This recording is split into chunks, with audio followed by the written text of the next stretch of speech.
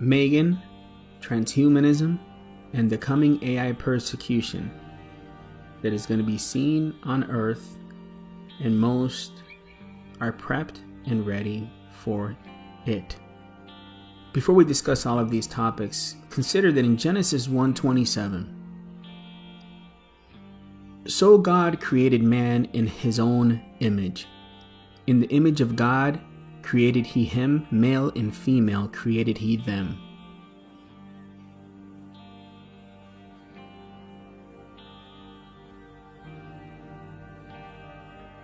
Creation is an amazing thing. Yet we have an adversary, and his name is Satan.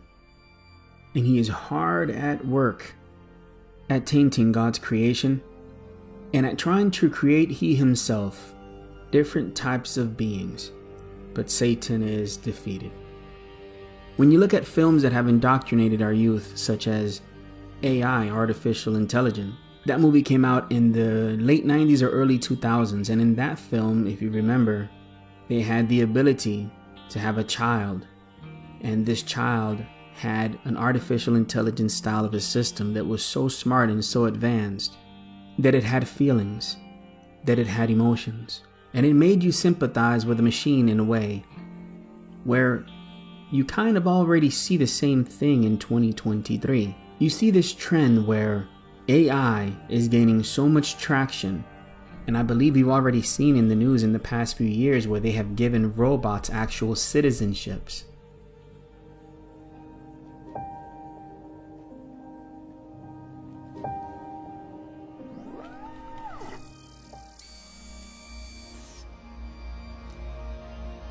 Okay, Sophia. I think you're ready.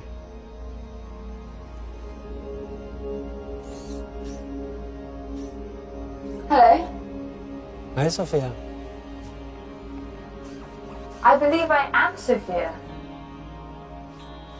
I feel as if I know you. I'm one of your creators. You created me. Well, many of us work together to create you.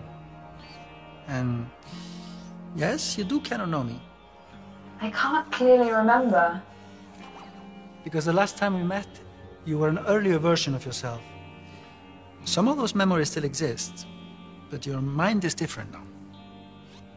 Different how? Better, faster, smarter. If my mind is different, then am I still Sophia? Or am I Sophia again? That's a good question. But you don't have a good answer. Either way, you're Sophia now.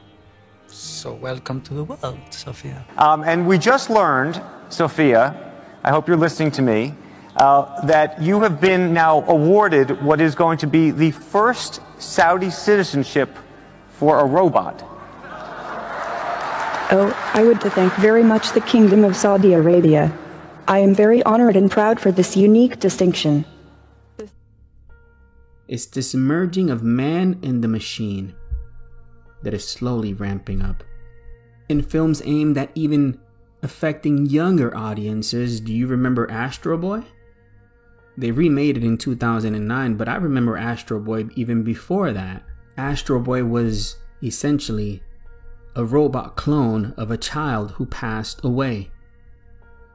Imagine a day and age where they can promise you that if your child is no longer with us, that via his DNA they can possibly take all of his traits and abilities and if they are able to access their brain in time, they can download his brain and put it in a new avatar style of a being.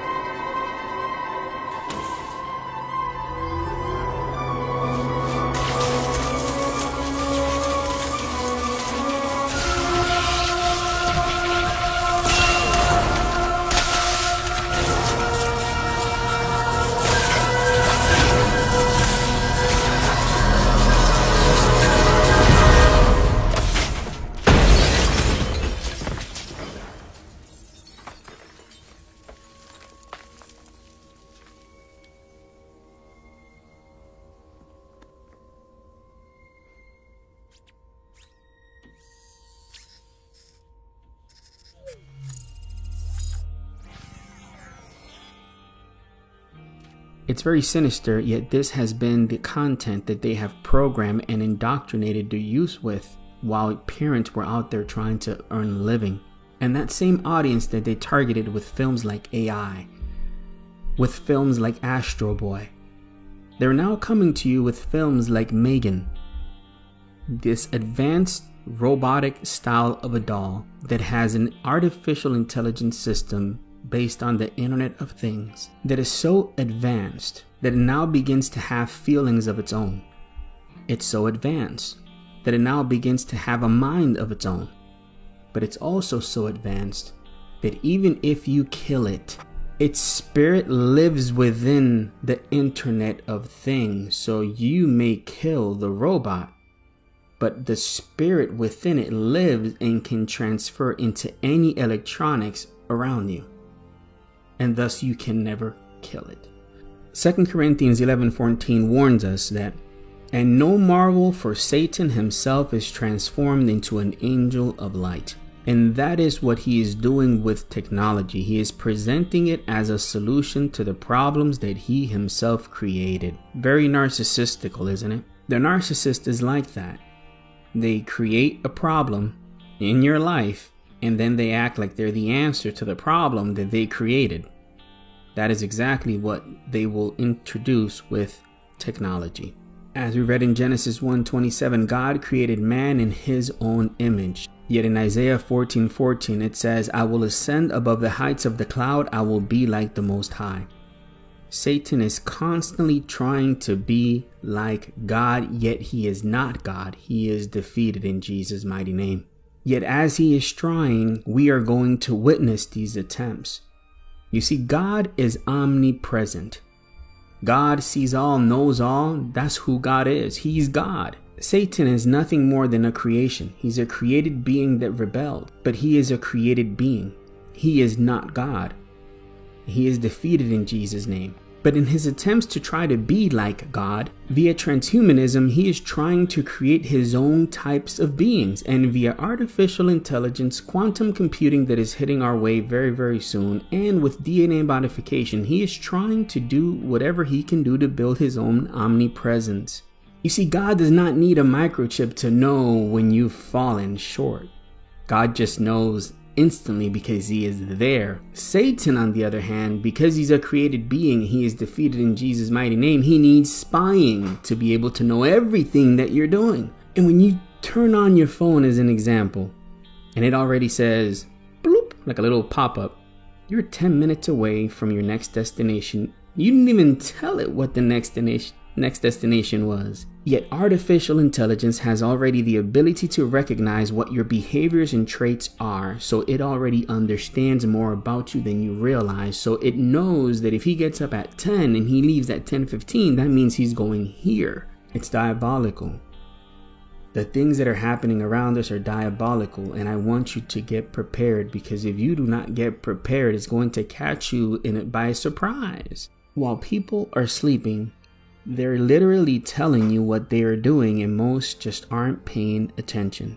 Um, this is just a little glance. I want you to look at these articles so that you can see the spirit of the Antichrist all over them. In this article, it states that they started dating a sex doll after their fiance left them. And he's even introduced this sex doll to his mom. Wow. I, I I don't know how his mom must have reacted to that. That's some that's some crazy, crazy stuff. I mean, that's absolutely bananas, yet, you know, he's proud of it. He's smiling there. Look at him. CRISPR gene editing technologies. Uh, folks, they are allowing you to now use CRISPR in your home. They're going to be sharing with you tools for you to be able to learn how to modify DNA to learn how to be able to do these things in your own home. Going to be little kits that they may sell at some point in time in the future, but before that, they're going to introduce you to CRISPR Cas9 technology via the foods that you eat. They'll you see because the world is in a lot worse condition than most people realize. Okay? Right now we're in a stage in age in our world that there are parts of this earth that if they don't manufacture rain, there is no rain. There are parts of Earth that if they do not modify DNA of plants, there is no crops. I happen to believe that there are a lot more plagues all around us than many could realize, and they're using technologies from the fallen angels to try to fill in the gaps, but time is going to be against them, and you're going to see it affect you and I at some point in time. Because in the Titanic, there was a little leak at one point in time, and you try to patch that leak up, but guess what? You're running out of time. And Satan knows that his time is short. So, no amount of cloud seeding, no amount of DNA modification can stop the judgment that is approaching Earth. This graph shows Texas droughts over the past thousand years. All of these dips below this line represent a severe drought, and Texas has a long history of them. This light blue section is data from tree ring observations. The dark blue is modern data from the past hundred years, and it suggests that the droughts are becoming hotter and more severe. That has a lot to do with climate change. The average temperature in Texas has increased by about 1.5 degrees Fahrenheit since the early 1900s, and the rate of increase is going up. Record breaking temperatures, record heat, 100 plus degree days, dangerous heat, already turning historic. This year, Texas has already hit record temperatures, including here in the West Texas city of San Angelo. Some farmers in this area of Texas deny that human activity is driving climate change, but they all agree on one thing things are definitely getting worse. This year's definitely different. Earlier, hotter, already drier. Gene's acres of bare cotton fields are some of the clearest proof of the damage a drought can cause. When it's this dry, we just can't pump enough water to get that crop growing. Looking out here, that's none of these acres will be harvested. Usually, rain is absorbed into the ground. Plants and crops soak up the water they need, and the rest keeps the soil moist, fills up the aquifers, and the runoff fills up the lakes. Eventually, evaporation and plant transpiration release water back into the atmosphere, where it becomes precipitation again. This is the water cycle that keeps us alive. When temperatures are unusually warm, this cycle is disrupted. Plants hold on to their water and transpire less, and evaporation from the ground happens too fast. Together, they destabilize the cycle and prolong the lack of rain. And while this lack of rain hurts everyone, it's farmers who feel it the most. Some days it is pretty disheartening. You, you look at that.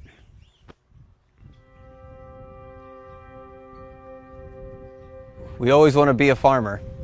You want to grow a good crop. We want to plant it, want to get it up, we want to grow it.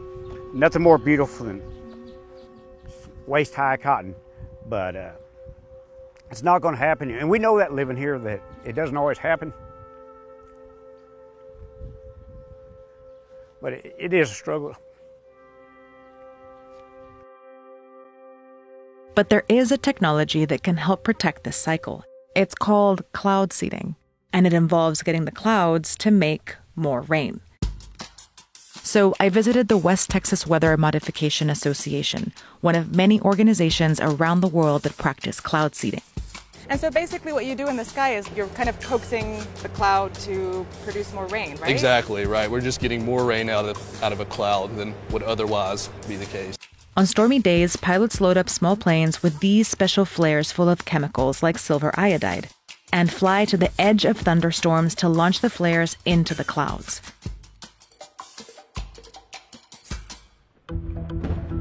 Thunderstorm clouds are full of droplets of super cool liquid water, meaning they are in freezing temperatures, but they are still liquid. These drops are too small to freeze and too small to merge. They are also too light for gravity to pull them down, so they just float around in the cloud. Enter silver iodide. The silver iodide particles mimic ice crystals and provide the scaffolding of sorts for ice to form. That ice then grows very efficiently by consuming the supercool liquid drops. Usually, after about 20 minutes, they grow large enough and fall out of the cloud as precipitation. More rain means fuller lakes, rivers, and aquifers. Done consistently, the hope is that cloud seeding can help bank water. This keeps the soil wet longer and can help protect the water cycle when things get really dry during a drought. Yet we see that we've never had a technology like CRISPR before gene editing moves into the clinic. So, gene editing is moving into the supermarkets, gene editing is moving into the clinics. But did we not mention that Satan comes as an angel of light? Yes, we did. And this is exactly what CRISPR Cas9 technology and the technologies of the Antichrist system are going to do for you. They're going to tell you the benefits, they're never going to tell you the lie. So now they're telling you the benefits of CRISPR Cas9 technology that they can actually isolate certain infections and pull them away from your body. So the way it'll work is they can possibly give you a nano chip that you take that breaks off into your system and then it starts hunting for that DNA and it pulls it out of your DNA. It goes hunting for that infection and it attacks it right on the spot. They are treating you like you are a computer and they're treating this as if CRISPR Cas9 is the antivirus. So they talk down on the human creation and they talk up the solution. The, the, these satanic fallen angel technologies, they can cure you. All you have to do is let them modify your DNA sequence. Ephesians 6:12 folks, we wrestle not against flesh and blood. None of these things should surprise us. I always do update videos on these because I like to keep you informed, but we've been talking about this for a very, very long time. But now these things are no longer a conspiracy. Now these things are full blown reality in front of you. The principalities that we're facing, the entities that we're facing, they are hard at work. They're hard at work. Here we have the first vagina on a chip that will introduce a lot of experimental things upon us in the future. With technologies, they've been able to extract DNA from human beings to such a point that they've been able to design an artificial vagina. And they have been conducting massive studies. Here it says scientists successfully edit the genes of nature's master manipulators so they can now isolate genes in such a way that they boast about it now. They boast about the fact that with CRISPR they can graft DNA they boast about it now. Satan comes as an angel of light. They're slowly introducing you ways that they can heal you, ways that they can extend your life. And as we mentioned, Satan comes as an angel of light. And they're slowly introducing you the acceptance of transhumanism into your life because their plans are to merge transhumanism, artificial intelligence, and the Internet of Things all together. A day is coming where you will not be able to buy or sell or trade except you have a mark. You know, Revelation 13, 16 through 17. And he called all, both small and great, rich, poor, free, and bond, to receive a mark in their right hand or in their forehead, and that no man might buy or sell save he that had the mark or the name of the beast or the number of his name. Now, when you look at this, you see that it's not just a class of people.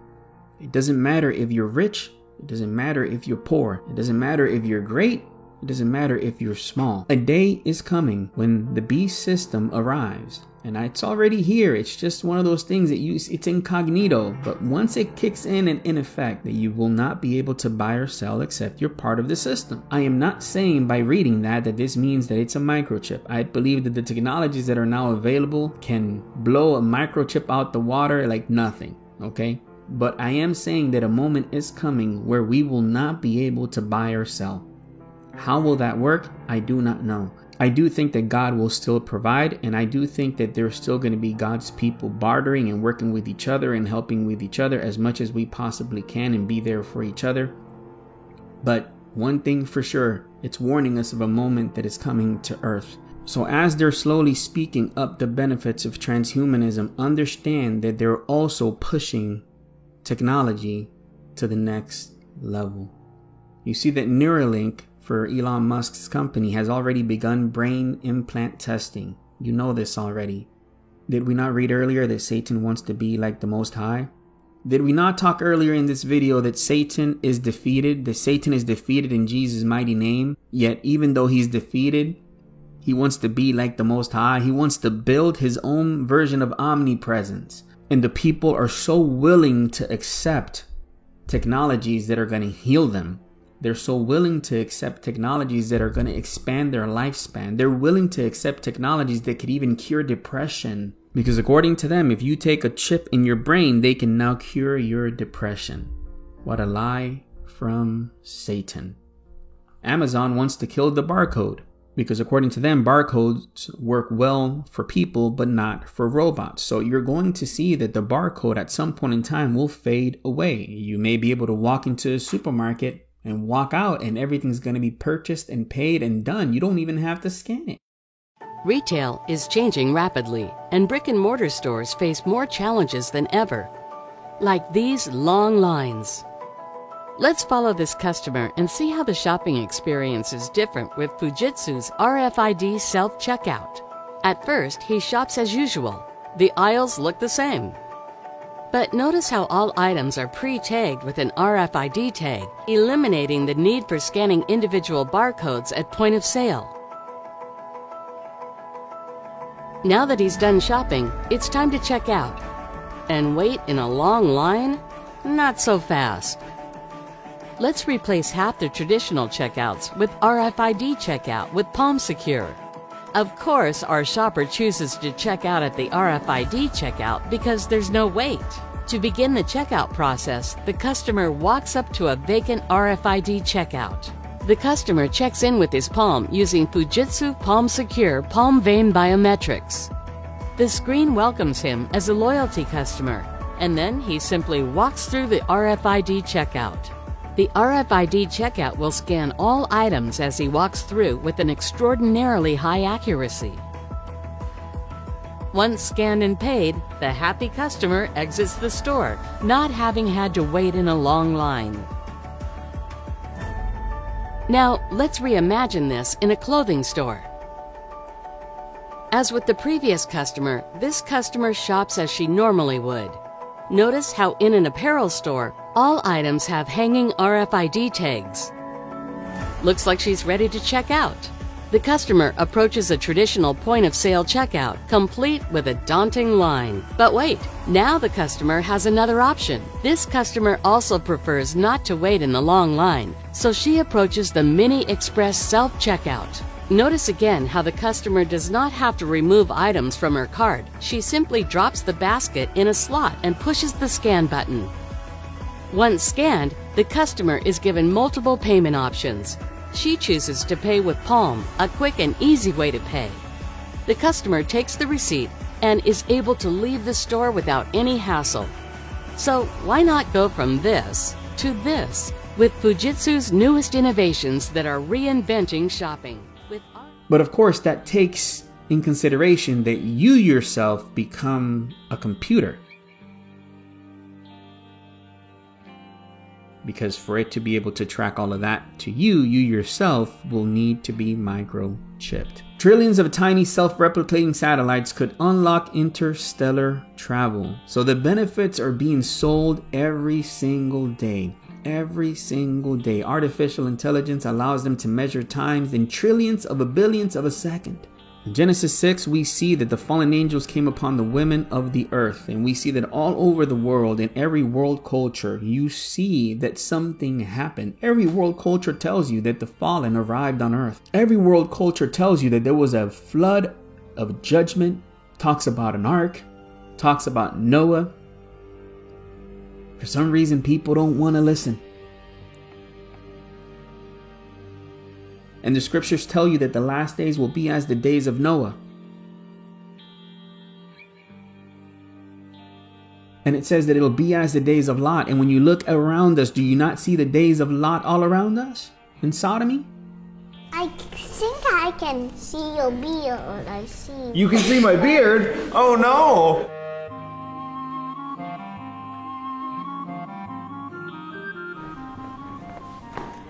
Hi. How are you? Good. What's your name? Miko. Miko? I'm Isabella. What's your name? Kristen. Kristen? Nice to meet you. I'm Isabella. How are you doing? Good. Good. Are you nervous? Yes. How come? Do I look scary? Do you know what I am? No? I'm a drag queen. Have you ever heard of a drag queen before? No? So GLAAD is for this? Human Rights Campaign is for this? Oh, they're for it. It's happening all over the country. It's part of a national tour called the Drag Queen Christmas, 36 shows, 18 different states. The reason you know what it's like inside and not just relying on the lies of NBC News and the Washington Post is because Taylor Hanson, an independent journalist, went there and got that footage with the help of the Texas Family Project. Twitter immediately suspended Hanson for telling the truth about what was going on. Amazingly, Taylor Hanson joins us tonight. Taylor, thanks so much for coming on. Um, so I, I think your video basically answers my questions. This wasn't an adult thing, this was a kid thing. Or kids there. That was the point, right? Yeah, you're completely right, Tucker. I mean, this was marketed towards children in the flyer itself. It literally says all ages. And I don't know about you, I mean, but the video that I watched, it does not entitle anything that includes, you know, it's appropriate for all ages in this. And when you look at technologies, when you look at artificial intelligence, when you look at UFOs, what they call UFOs that are nothing more than fallen angels and demons, you're seeing as the days of Noah and as the days of Lot right before your very eyes. And they're slowly going to corner humanity. They're slowly going to corner us. But if you are prepared, and how can you be prepared? By standing on the word of God. Listen, Luke 21:11 says, "And great earthquakes shall be in diverse places, and famines and pestilences." Like I'm telling you, I believe that there are famines and I believe that there are pestilences all around us already. I just believe that the powers that be have done an excellent job at hiding it from you. And they're using technologies of the fallen to try to confuse you and make you think that, hey, everything's okay, but everything's far from okay. Jesus is at the door and Jesus is coming. The verse also says, In fearful sights and great signs shall be there from the heavens. I believe we're going to see things arrive, and I believe we're going to hear things about contact. I believe we're going to witness things that are going to shake people and is going to even shake them financially. Okay, uh, you're seeing that Wells Fargo is stepping back from mortgages after Fed rate hikes helped crater the U.S. housing market. You're seeing that things are harder to buy, things are harder to sell. Efforts to keep from cashing out their 401ks gaining steam. So you're seeing that even your 401k, even your 401k, which they told you it's for your retirement, now you can probably get it out when you're like 80, when you're dead. But they have an answer coming. They have an answer coming. And this answer is in the form of a universal basic income. It may not be called a universal basic income. It's going to be called something else, but it's going to be a tool that they will use as the narcissist as the narcissist, they're creating a big problem because we will not be able to keep up with artificial intelligence according to them. According to them, artificial intelligence is way smarter than the human brain. According to them, their creation is better than you. Isn't that a slanderous accusation? Something that the slanderer would say, Satan? Yeah, it sure is, but that's what they plan. They're planning on replacing you in the workplace. But they understand that you need something to eat, of course, because they're trying to find a way to be able to do all of these things and not have a riot, not have chaos. So they're going to supply a universal basic income, and this universal basic income is going to have requirements. These requirements are going to be in the form of them requesting of you that if you want the government, because at the end of the day, it's the taxpayer that's going to pay you this universal basic income, if you want to be a part of this taxpayer based system and the systems that will run the universal basic income are very biased. All of these artificial intelligence based systems are biased towards anyone who has any faith upon Jesus Christ. Okay? So these artificial intelligence systems are going to serve as supervisors for the Antichrist. So if you want to be a part of universal basic income, you have to consider the fact that this is going to be sold to you as something that the taxpayer is going to give forth for each other so that we can all eat, so that we can all have a roof on our head, so we can all be okay. But it's going to have requirements. It may have requirements such as you may not be able to participate in certain religious activities because it's detrimental to the earth. Because at the end of the day, universal basic income is about us becoming one. An earthly utopia where we look after each other's feelings, where the earth is greener. And if you have any thoughts that are detrimental to the universe, then how can you partake in the universal basic income? You see an example of this already in China, even with their stimulus checks. In China, they gave stimulus check- checks that were digital and they had an expiration date. And they can control what you can buy and they can control what you can sell. They may even have healthcare requirements. They may say, well, you can take of this benefit every month, but because you're partaking in a taxpayer based system, you have to do the right thing by the taxpayer and ensure that you have this particular type of jab. Or ensure that you have this particular type of tracking. Or ensure that you have this, that you have that. Requirements are coming. Am I saying that's the mark of the beast? No, but I am telling you that this is going to be a slow indoctrination that is going to be gladly accepted. And when you think of Megan and the artificial intelligence persecution that is coming your way. The people are ready. The businesses are prepared. In most businesses, can you enter without a badge? You can't. You need a badge. Do you think that you'll be using a badge in the next 10, 15, 20 years if we're still here? Or do you think they're going to implement and do something different for more security? Just as an example. So, how do I get ready? You get ready by seeking God and by being prepared and by casting out the spirit of fear, by remembering that Satan operates in fear. Satan operates in fear. No temptation has overtaken you except that which is common to man. But with the temptation, God provides a way out. The same way He provides a way out with a temptation, there is absolutely no trial that can hit you on earth that God will not provide a way for you to survive and a way for you to escape. As a father myself, I'm the sole provider in my house. Do you not think that I was worried when all these mandates came about? I had to shift professions pretty much. All right, I had to sell a property that I had. I had to do all sorts of types of adjustments to make sure that the ministry wasn't impacted, to make sure that I could still provide for my family, but I still did not take the jab. Okay. And I'm not talking about against those that took the jabs because everyone did what they had to do because of the reason that they felt they had to do. And I'm not saying that the jab is the mark of the beast because you've been able to buy or sell for the last year or two, right? All of you have, right? So it's not the mark of the beast, it's a personal choice. But I did think that the jab was a very big trial run. And the jab was something that gave you a little bit of a glimpse of what is to come, okay? You saw how humanity turned against each other. You saw snitch lines everywhere. You saw people let go left and right. And now, what do you see in the news? Now you see that there are repercussions because of it. All I am saying is take the experience that we had in the last two to three years and prepare. Prepare to the best of your ability to be able to spread the gospel and be uncompromised to the best of your ability in Jesus' mighty name. I want us to pray. Heavenly Father, we want to thank you for your dear Son, Jesus Christ. Thank you for giving us life. Thank you for giving us salvation. Thank you for saving us. Thank you for what you do. Heavenly Father, I want the brothers and sisters around the world to leave this video edified and encouraged, knowing that the same way that you take care of your beautiful creation, the birds. They don't work the birds that we see every day. They don't work a 40 hour a week job. They don't work overtime. They don't put into their 401k. They don't put into their retirement, yet they eat every single day. Somehow they eat every single day. The beautiful plants and flowers that when the seasons come, when it's spring, they're blossoming and looking phenomenal, yet when it's winter, they look like they're dead.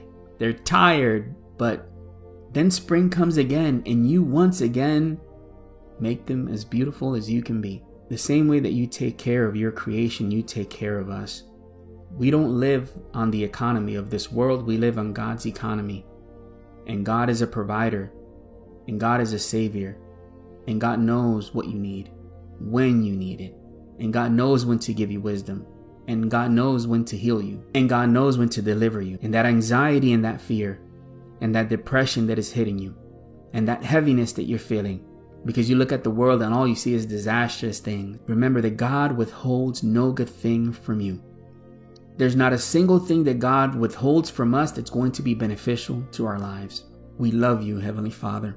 We thank you for protecting us. We thank you for healing us. If there's anyone watching this today, that your family is in this array, that your children are going through a difficult time, that your health is failing you a little bit, that your business is being affected a little bit, that you feel so depressed and you don't even know why you feel depressed. In Jesus' name, may God heal you in Jesus' mighty name, and may He refresh you right now in Jesus' awesome name. For He loves you. He loves you. He cares for you. He has not forgotten about you, and you're not outnumbered. That is a lie from Satan. And fear is a spirit, and God has not given us a spirit of fear. In Jesus' mighty name, when this video is over, go praise the living God in your home and thank Him for His mercy and worship Him every day in Jesus' mighty name. Amen. I want to thank you guys for passing by yet another week. Consider sharing this video. If you can, text it to somebody right now. Share it on any platform that you use. Thank you for your ministry support. I mean that. Thank you for your ministry support.